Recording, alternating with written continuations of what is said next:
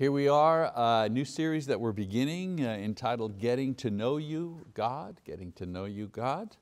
And this is the uh, first uh, lesson in this uh, short series that we're doing entitled, Is God a He, a She, or an It?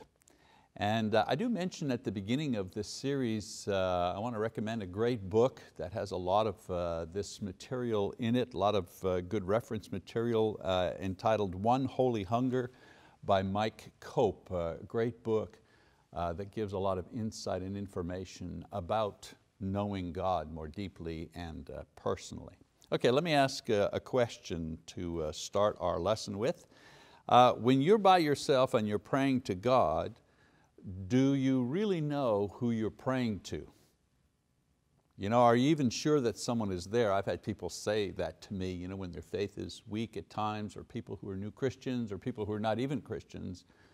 You know, they're saying, well, when I'm praying, you know, I, I'm not even sure that somebody's listening to me. Uh, do you find that uh, you're doing all the talking and when you stop, there's a kind of a dead silence there? Wouldn't it be nice if if, if God would say, okay, I hear you, keep talking, you know, but you don't hear that. Some people that, that disturbs them, the idea that they're you know, praying to God and then there's just silence. They don't hear anything. They have to, by faith, uh, understand that uh, He's hearing them and He understands what they're saying. Uh, some people think that um, they're just talking to themselves. I've heard people say that even about prayer. All prayer, you know, that's just you talking to yourself or talking to somebody you hope that's there. Well, of course, uh, we know that children don't have these types of faith issues about knowing if God is there or not.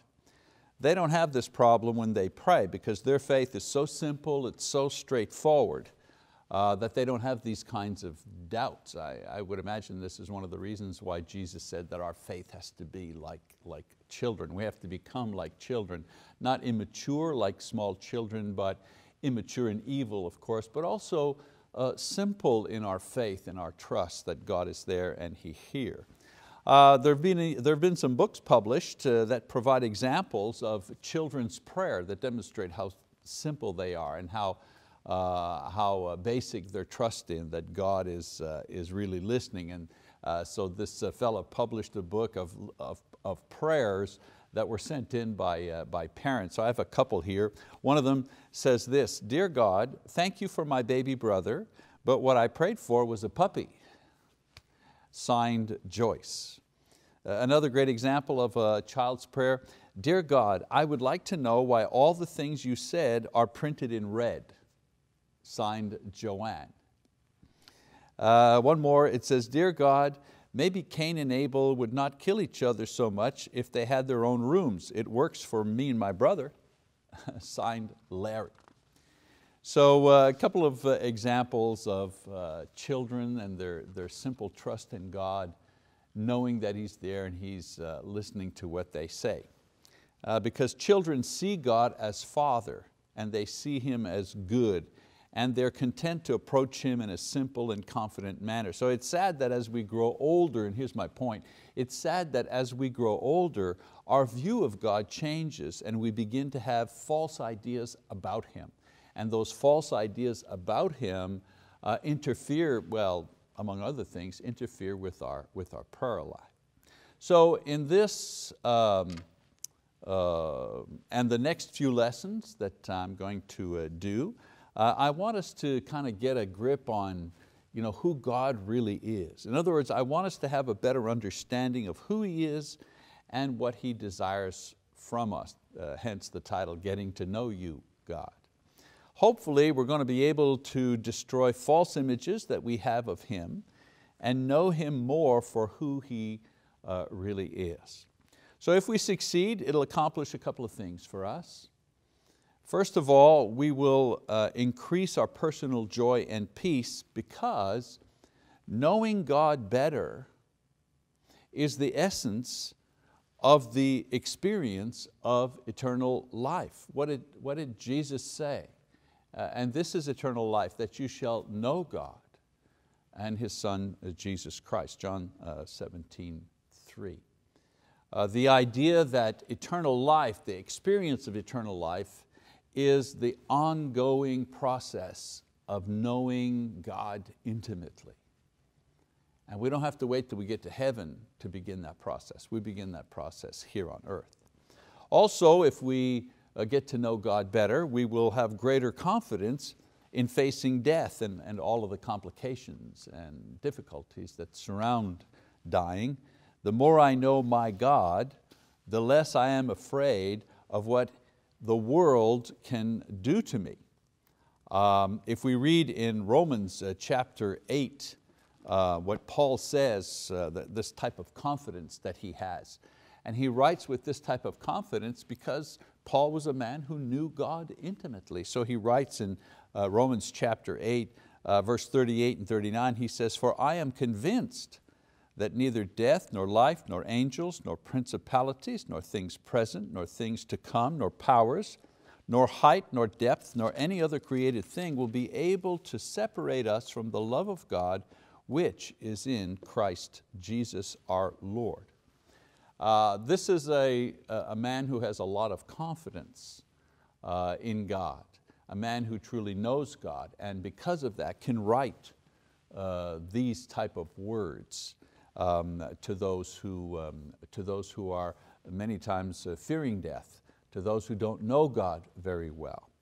Uh, so we have to you know, get to know God more intimately to have this kind of, of confidence. And then one other thing uh, in knowing God more perfectly, uh, we, will have more effect, we will have a more effective prayer life. Um, as, a, uh, as we grow in the knowledge of the one that we pray to, our boldness in prayer will increase and our faith uh, that He hears and responds will increase as well. And, and the outcome will increase, right? What does James say? You know, the prayer offered in faith will restore the one who is sick. James chapter 5, verse 15. A strong faith is required for strong results. And so the way to build faith is to get to know God more perfectly the God of the Bible. So the prayer in faith is the prayer offered in belief that God is there and that God hears and God is able to answer and has answered uh, in the past. And this faith comes as we grow in our knowledge of the one that we pray to. All right, one of the more uh, recent questions about God and who He is uh, is the following. Is God a He or a she or an it? I don't think we ask that question here. I know, I know I'm kind of preaching to the faithful uh, you know, today, but uh, this is a question that comes up with individuals who are not as familiar with the, uh, with the Bible as perhaps this uh, particular class is familiar. Um, we know that recently there have been efforts to eliminate all the gender-related references to God in the Bible. Um, this was a reaction to the seemingly patriarchal nature of the Bible and male-dominated imagery. Uh, some feminists, another group, went even as far as to suggest that uh, we should refer to God as a she in order to redress the imbalance of the last 2,000 years. And so you have Bibles that don't refer to God as a he, refer to God as an it or to a power or to a, you know, or even they, they, they mix it. Sometimes they refer to God as he, and sometimes they refer to God as she, sometimes uh, use the, the term mother God, father God, you know, to try to uh, blend together uh, you know, a homogeneous God that, that, that, that includes maleness and femaleness and so on and so forth. Of course, this is politically correct thinking, and this politically correct posturing doesn't take into account uh, that references to God in the Bible are, are metaphors. I mean, they refer to uh, Peter as he, that's not a metaphor. Uh, the Bible refers to Peter as he because Peter was a man. Uh, but when the Bible refers to God as he, that's a metaphor. Whether you're male or female references makes no difference, they're still metaphors that only describe through imagery part of God's character. So the simple truth is that God is neither male nor female.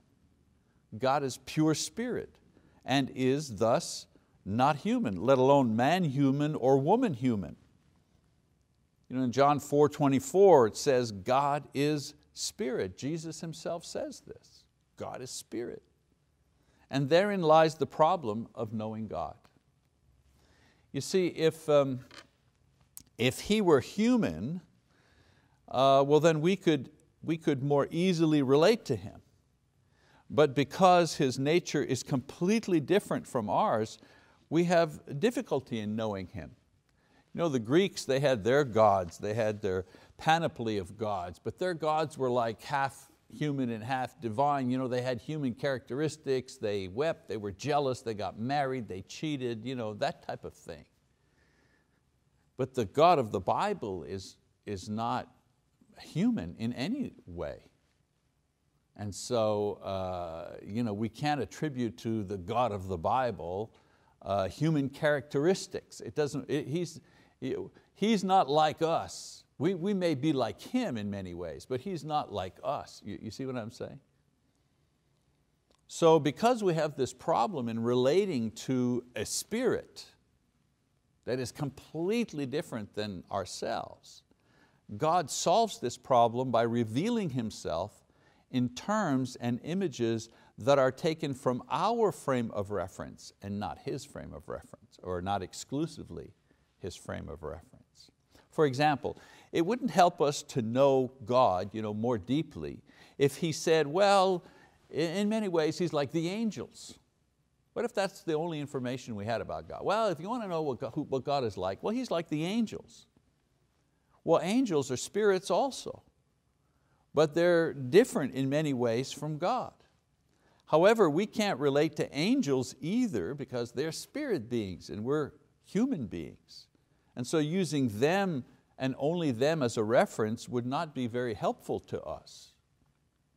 So what God does is He selects people and things that belong to our world and our nature to try and describe what exists in another world, in another dimension, in another nature. Okay? Now the danger for man has always been that he worshiped and served the creature rather than the creator. That's what Paul says in Romans chapter 1, verse 25. So we have to be careful of that. In other words, man has made a God out of the things that represent or give us insight into God's nature. So in today's society, we are doing the reverse. We're trying to eliminate or replace these things or images that the Bible uses to describe God, and we're replacing them or trying to replace them with symbols that suit us better or fulfill our political or humanistic agenda. In other words, we're not using what the Bible gives us to describe God. We, not we, you and I, but you know, in the world, we're trying to do away with these type of symbols and metaphors, and we want to use our own symbols and metaphors to describe God so that He'll fit more with you know, my politically correct thinking. So I'm going to call God a she half the time, and then I'm going to call God a he half the time, contrary to what the Bible does. Because calling God a, God a he half the time and calling him a she half the time, that fits more with my thinking about fairness between the sexes. You see what, I, see what I'm saying? The answer, of course, is to realize that God, He's the one that not only chose to reveal Himself to man, but also the manner in which he would do so. So let's uh, read Hebrews 1 verses 1 and 2 and uh, think of this, these verses now in the context of what we're talking about this morning. So it says, God, after He spoke long ago to the fathers in the prophets and in many portions and in many ways. So let's stop there for a second, right? So what is the Hebrew writer saying? That God did reveal Himself, spoke to the fathers. Who are the fathers? You know, Abraham, Isaac, Jacob, these people, you know, the, the, the, the fathers. And He spoke to the prophets. But it says, in many portions and in many ways. He revealed Himself in a variety of ways. To Moses in the burning bush, to Isaiah, you know, the voice, uh, uh, the inspiration. uh, to others with images. To the Israelites, you know, fire, thunder, lightning on the mountain. You know, He revealed Himself in the ways that He chose to reveal Himself to man, selecting the way and the manner and the portion that was suitable for the individuals of the time and suitable to the thing that He wanted to share with them. You know, when He reveals Himself to Moses, as the burning bush, as the bush you know, that's burning but doesn't burn away, if you know what I'm saying. Trying to get across to Moses that He is the eternal one, I am. The bush that doesn't you know, burn up, always constant. That's the image, that's the, that's the way that He reveals Himself to Moses. Why? For the purpose of teaching Moses more about who He is. That's why He didn't reveal Himself to Moses in a dream so that Moses wouldn't be saying to himself, well, maybe that was just a dream. You see what I'm saying? So God chooses the way to reveal Himself to different individuals in order to teach them something about Himself. So that's why many ways, many portions. So the writer says, in these last days, He has spoken to us in His Son, whom He appointed heir of all things, through whom also He made the world. So now not through signs in the skies, not through you know, dividing the sea and so on and so forth. This is not how God has chosen to reveal Himself to us. Now He says in these last days, we're in the last days, right? He's chosen to reveal Himself through Jesus Christ. That's how He wants us to know Him, through Jesus Christ, okay? So we don't have, a, the point I'm going to make here is this, we don't have a right to change even the images. Because the Bible says God is the one that chooses to reveal Himself in various ways, metaphors, miracles, Jesus Christ. He, he has a right to change the way that He reveals Himself for His own purposes. But we don't have a right to change the images and the ways. That's the point I'm, I'm making here. So from the burning bush in Moses' time to the person of Jesus in the New Testament, God has revealed Himself using many different forms. Our task is not to elevate one form over the other, but to bring all of these forms together so that we can better know the Spirit we call God. Okay? That's how we get to know God. Let's look at the ways in the Bible. Let's look at the ways He's revealed Himself and see from the ways He's revealed Himself how we can better know Him. And that's what this short series is about. So let's talk about God as a thing. Um, remember we said, is it a he, a she, or an it? So let's start with the it. From the beginning, God has made a variety, or used rather, a variety of inanimate objects, its, if you wish, to demonstrate facets of His character. For example, in Exodus chapter 3, verse 2, as I mentioned before, a burning bush that, that was not destroyed. Why? Why this way to reveal Himself? Well, to demonstrate the internal and powerful nature of God to Moses because uh, you know, in Moses' ministry, God would eventually send him to do other great miracles. And so he begins by demonstrating his power, the burning bush. If God can be the burning bush, then God can divide the sea and so on and so forth. Okay? In Psalm 28 verse 7 it says, the Lord is my strength and my shield. Now here the Lord is depicted as a, a shield. In this and many other passages, God is seen as a shield to demonstrate His protective nature. In Deuteronomy 32:4, it says, the rock, His work is perfect. Uh, God, the metaphor for God here is as a stone, a rock, not, not a little throwing stone, but a rock, a boulder, right? A rock. What does that say about God? Well, God is stable, foundational, unmovable. Of course, these images have limitations, but within context they describe quite graphically certain dimensions of God so we can relate to Him viscerally. not just intellectually, but viscerally. I see the huge boulder, right? I see the huge rock. And I say, you know, God is my rock. I, I can feel the strength and the power of that if I tap on it, if I try to, I can't move it, right? So I can relate to this image here viscerally, emotionally. So this is one of the reasons that certain uh, metaphors use objects to describe, uh, to describe God. So knowing God you know, is not just the head knowledge, it's gut knowledge as well. And these images help us to know God from the, from the guts, from the inside. that help us to know Him emotionally as well as intellectually. And so a lot of the, and of course these metaphors, they have limitations, don't they? No one example, no one thing, no one metaphor can capture all of what God is. Impossible. Impossible. But they do give us you know, ideas, insights into parts of His character, parts of His personality. And, and, and it's left to us. We have an intellect, we have a brain. It's up to us to kind of put these things together to begin to you know, make a, a more, complete, a more complete image. Okay, so that's God as a thing. Let's take a look at God as a woman. The idea that God is represented as female in the Bible is not unheard of. There are examples of it. So the idea of God as a woman makes people feel uncomfortable because the majority of references to God in the Bible speak of Him as male, but not exclusive. Not all of them refer to Him as male.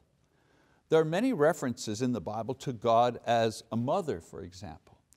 In Ezekiel chapter 19, verse 2, uh, it says, or Ezekiel says, what was your mother? A lioness among lions. So here God is compared to a fierce and protective lioness in giving birth to Israel. And so the imagery of God here is female, not male. In Isaiah 66, 7, it says, before she goes into labor, she gives birth. So here God compared to a human female at the point of giving birth. And it goes on to say in this passage that the child, Israel, was born, in other words, conceived and carried and delivered in a single day. You know, a kind of a superhuman woman, if you wish.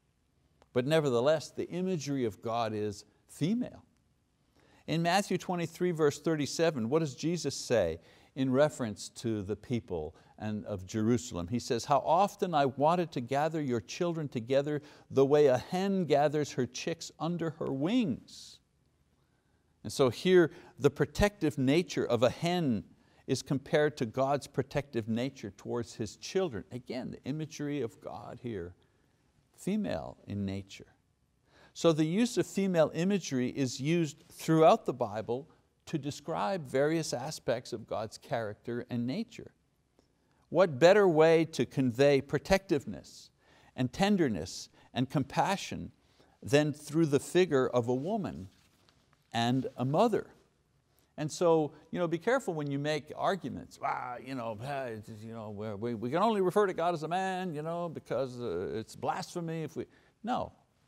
No, no, the Bible has many images referring to God, not, not necessarily as a quote woman, but the feminine nature.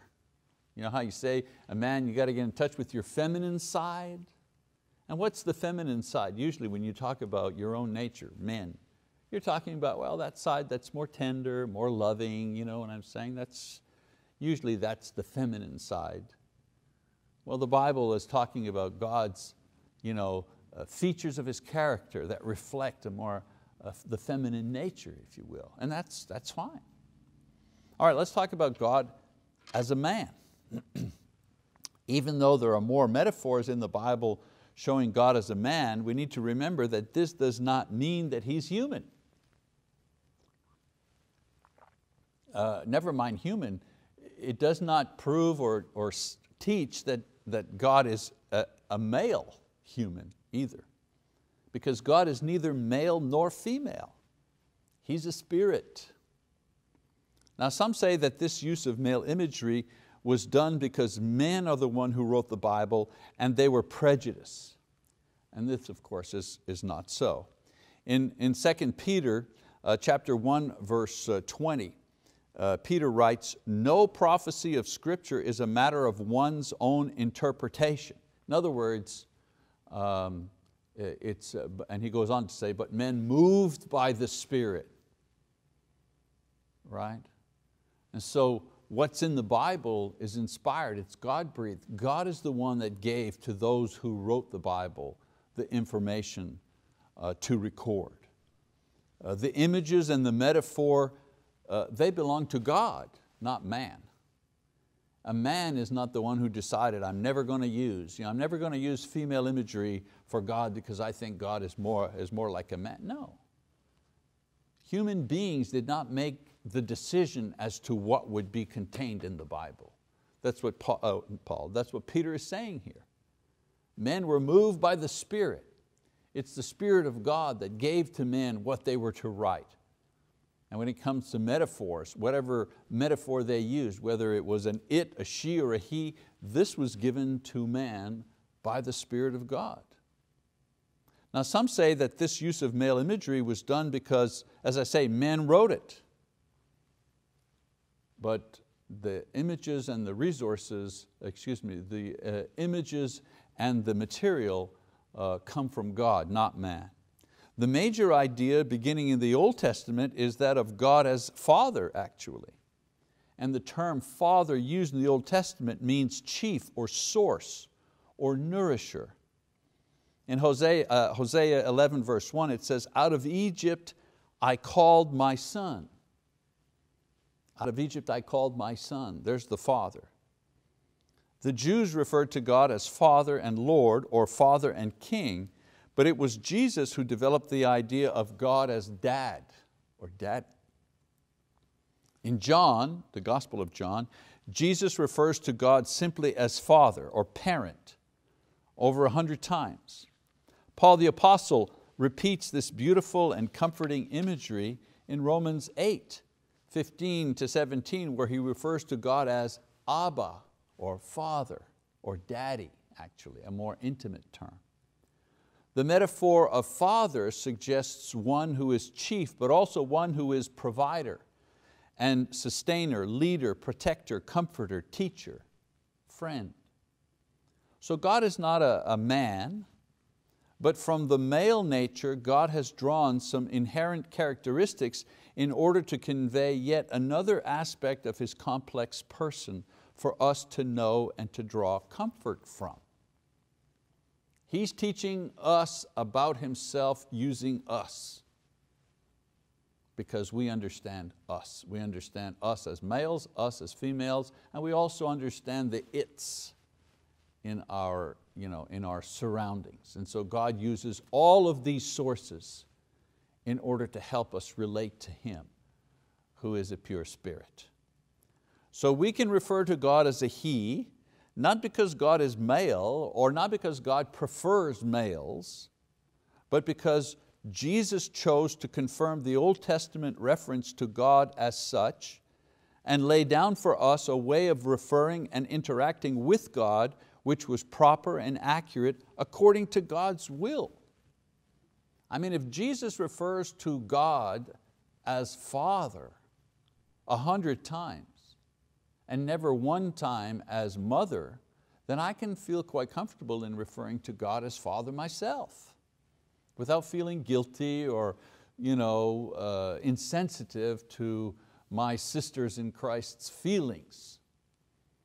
And faithful women of God can refer to God as Father without feeling they're betraying their own sexuality. Why? Because their Lord and my Lord has referred to God as Father numerous times. And we can follow his, his lead. I can call God my Father because Jesus called God His Father. And this is why I don't refer to God as it or as she. I mean, uh, as I've demonstrated, there are times where God is, uh, uh, uses metaphors, you know, using objects to describe his character, using the female nature or women or mothers to describe part of his character. So it's not unheard of in the Bible that you know, God uses a variety of ways to, to, to describe Himself. But I base the way that I refer to God on the way that Jesus my Lord refers to God. And He refers to God as Father. And so I follow in His lead and I call God Father. This is the reason that I do it. This is the reason that we do it. This is the reason that the church has done it from the very beginning. Of course, uh, the most complete revelation of God comes not through an image or a metaphor, but rather through a person. In Colossians uh, chapter, um, uh, chapter 1, verse uh, 15, uh, P, Paul writes, he is the image of the invisible God, the firstborn of all creation. And so um, in Jesus Christ, uh, all the imagery of the Bible finds its expression in a person. So you know, all the, the it and he and she images in the Old Testament, all of these things come together in one person in the New Testament, in Jesus Christ. So the protectiveness of the lioness and the tenderness of a mother and the strength of a father and the solidity of a rock and so on and so forth, these and all other metaphors are now expressed completely in Jesus Christ. It is summarized in a male because a male was the first created and a male will be the one through whom the second creation comes. That's what Paul, uh, Paul says in Romans chapter 5, 19, he says, um, for as through the one man's disobedience the many were made sinners, even so through the obedience of the one the many will be made righteous. The first man, Adam, he's, he fell.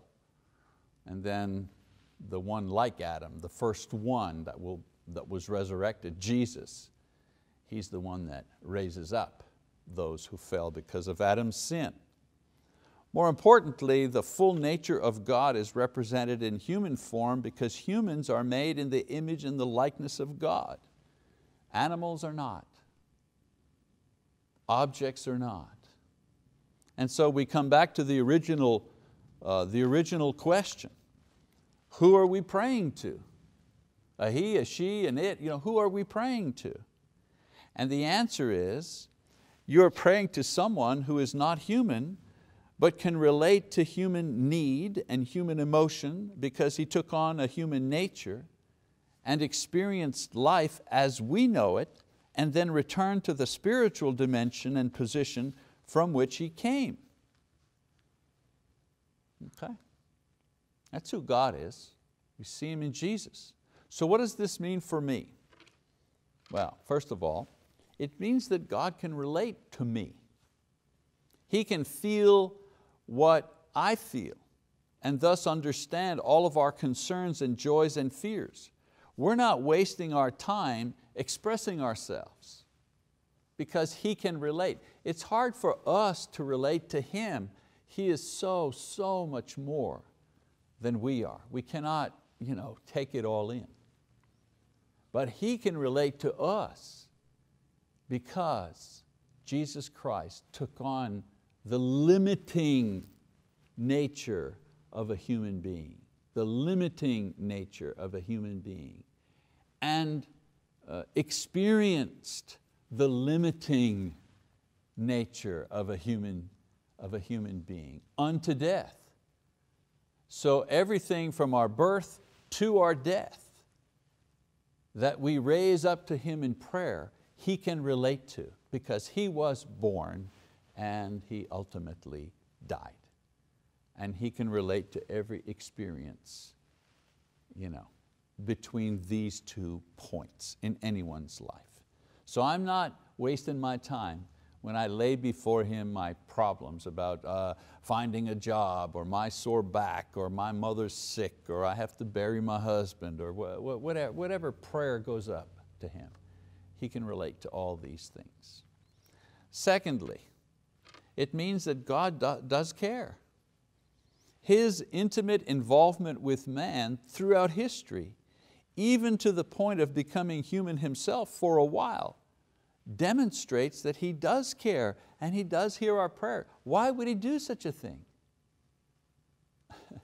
Why would He experience such a thing? Why would He change you know, uh, His nature to, to, to experience human living? Why would He do that if He didn't care? And so uh, uh, it teaches us that we have a sympathetic and eager ear when we, when we pray. And then thirdly, it means that God wants to help. You know, the Bible shows how God is zealous for His people, how He is, you know, he is eager um, uh, for sinners to come back and, and anxious uh, to punish the evil ones especially those who hurt Christians. So we have hope that our prayers will be answered and not grudgingly. You see what I'm saying? God isn't there, you know, you're not there praying, oh God, please, please, and He's going, oh, you know, I don't feel like it. No, okay, fine, you can have it. You know, all right, I'll, say, I'll get you a new job. You know, that's, that's not God. I mean, the Bible says that God loves a cheerful giver, right? Loves a cheerful giver.